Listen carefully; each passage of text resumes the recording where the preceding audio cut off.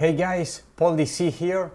In this new video, I'm going to continue talking about my personal experience with CE5, Steven Greer's Close Encounters of the Fifth Kind protocol, which is, as I mentioned in the first part of this two-part video, uh, an active meditation-based protocol that one can execute in order to attempt to contact higher beings from either different dimensions or from elsewhere in the universe. We are talking about advanced civilizations that completely master either organically or inorganically through technology, consciousness technology, and are able to pick up our our thoughts or our energy signature when we meditate and we do these exercises and hopefully some sort of feedback or communication or experience can be triggered. Okay, um, one small th- thought that I'd love to make a standalone video on this, but there's many ev- evidence that uh, extraterrestrial technology is not uh, divided as as humans currently uh, categorize technology. I, I mentioned just a minute ago that technology can be either conscious tech can be either in, inorganic or organic. Organic can be the same way that we could be able to, for instance, do astral projection or, or that kind of things without an outside technology helping us to accomplish that mission. But there is or there could be some technology that may be able to uh, boost or enhance these experiences. And often uh, as humans we think that that sort of technology is often uh, silicium based or like traditional technology which is something purely inorganic. Well the evidence i mentioned uh, there are many documentaries uh, research articles and experiences uh, narrated by people that had uh, events happening to them that there may be or there is actually consciousness consciousness technology that is not imbued on the physical vessels of certain species but according to them it can be organic technology. Sorry once again about the ambience noise so consciousness technology uh, is for sure going to have a dedicated video on my channel but just to make that uh, slight difference. And when i say conscious technology just try to avoid thinking of a very powerful microprocessor because it is nothing like that. It can resemble to something uh, literally organic and still be tech. Okay with that out of the way my second experience with ce5 took place exactly on October 2021. Uh, I mentioned in my first video my first experience, which was kind of a dream based, and through a dream that it, it wasn't even mine.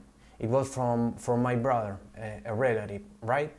And in this second experience, what I did is I was invited by my family in law. They do have a retirement house up in the mountains in a province that is very well known worldwide and it is extremely known here in Argentina for its UFO and unexplained activity and phenomena. There's kind of a very special energy signature in that place. It coincides with, um, with a trace of mountains, which actually they are not mountains, they are called sierras.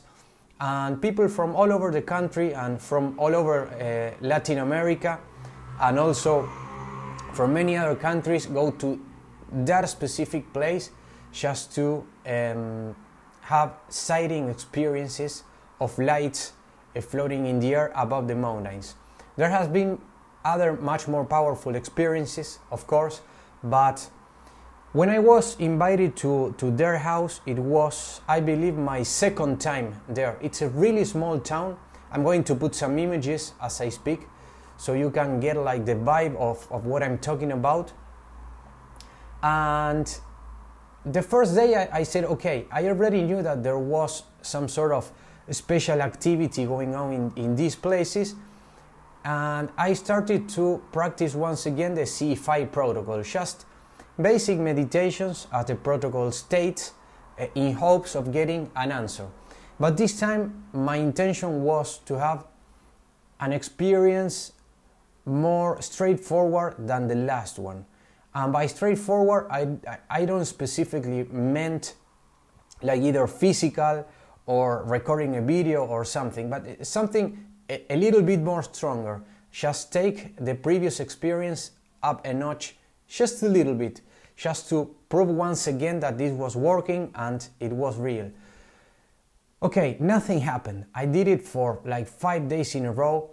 I I even stayed up late just to, to see, uh, I mean, the sky and the top of the mountains to see if something happened, and nothing at all.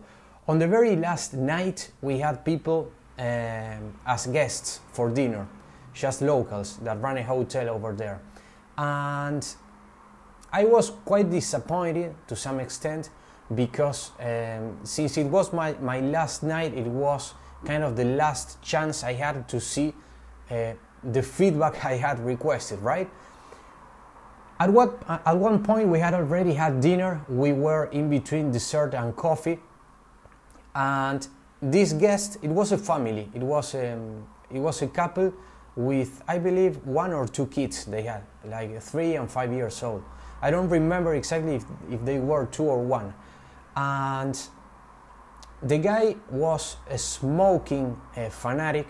He went out to smoke while we were dining, like at least three times. He couldn't be away without a cigarette.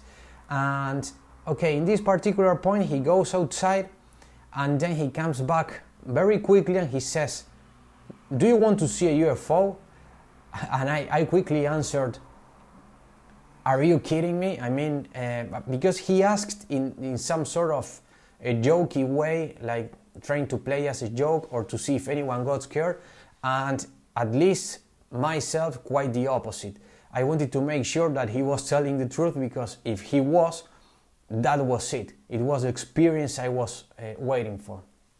Okay, we said yes. My father in law is also a UFO fanatic, and in fact, he always carries, when he's there, a set of, of binoculars or goggles just to be able, if something happens, to see it more and more bigger, right? Okay, we went out there and what we saw was literally unexplainable. And I'm not saying that the C5 was the thing that triggered what we saw, because later on, when talking with locals in that particular spot, they recognize that many times they do see unexplained uh, things and phenomena. But at that point, I, I was living through ecstasy. It was a huge orb floating what would have been like 400 meters above the highest peak of the Sierras, meaning it wasn't a vehicle down the road of the Sierra or the mountain with very bright lights. It was literally floating, and you could see it kind of like even an oval or egg shaped, and you could see blue and red lights spinning around the bright white orb. And it was so big that then I tried to measure the distance. That must have been like uh, 30 kilometers away from, we, from where we were standing. So the size must have been massive because a plane at that distance is barely perceived as an ant, and this was a really considerable sized ball, kind of like a floating golf ball, which one could say yes, a golf, a golf ball is really small, but depending on the distance, that kind of diameter represented something huge.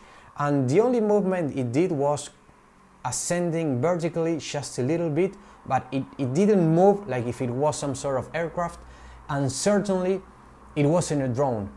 If that was a drone, they would have had to be at least 200 drones to produce that kind of of brightness and that kind of of mass at that particular distance and then uh, well once the, this bright orb took all the attention we started to pay attention at, at secondary things around the orb and if you stared quite enough for some seconds, we were able to see dots that were perfectly confused with stars, but they were actually moving. They were coming in from the large orb and coming out. And you could have like one that in a split second it split into three similar small white bright dots. Then they would join back again. Then they, they would go from point A to point B in a zigzag manner. And that was happening all over the place. When we started paying attention, we figured, we figured out that it was much more bigger than the orb itself. They were everywhere, at least a dozen. And we were shocked. I mean, my girlfriend, that who doesn't believe in, in all these things, she was quite scared because for the first time it's like her world, her entire paradigm of life shattered because there was no way that we could explain what we were seeing. So at that point, I was um, very excited and I tried to stay calm. And I remember that one part of the C5 protocol says that uh, thoughts are kind of like the WhatsApp when uh, these things are happening.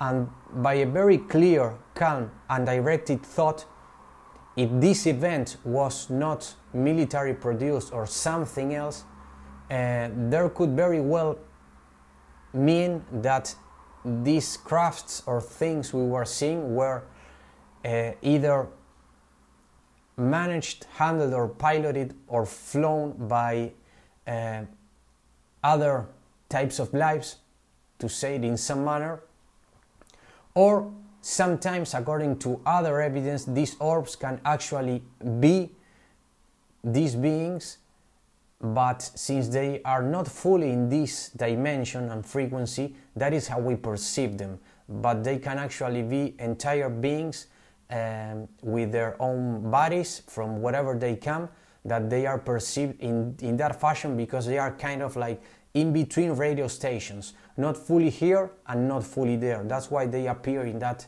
uh, very bright fashion.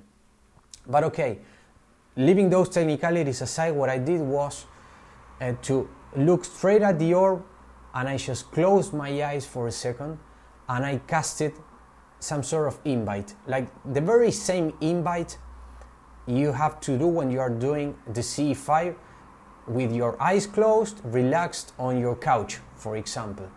And basically, the invite was paraphrasing it you can come down and get closer because I would love to meet who is on this other end. And that's when the most amazing thing happened. Suddenly, a bright tennis ball sized blue, indigo blue, uh, bright orb appeared on eye level. I dare to estimate like between 20 or 30 meters, which would be in feet, um, around 90 feet away from where I was. And I said, Am I really seeing this? And it stayed there. And for a split second, I knew it wasn't just a light. It was kind of like the presence of someone or something, right?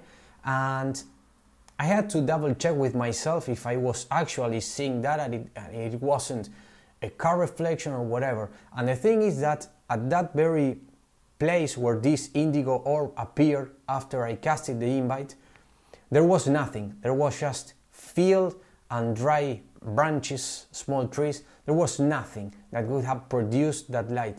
And the other thing was that my girlfriend also saw the indigo orb and she saw that it was extremely, extremely close to us. While the other stuff was still happening at the Sierra Peaks. Okay, long story short, she started crying out of fear, and as soon as she started crying, the indigo orb disappeared entirely. And that sort of cross references to what either both Dr. Greer states and many other books like The Law of One and other types of evidence uh, says about benevolent either ETs or higher beings is that as soon as they perceive they are causing the slightest harm not physical but also emotional or mental, they just remove themselves from the situation. So basically, that's where it ended. A year from that, uh, my my in-laws, if that's the right word, they of course went back to this place and they had other sightings, not of that specific kind, but unexplained lights um, floating above the mountain peaks or the Sierra peaks. So that wraps it up. That was my experience.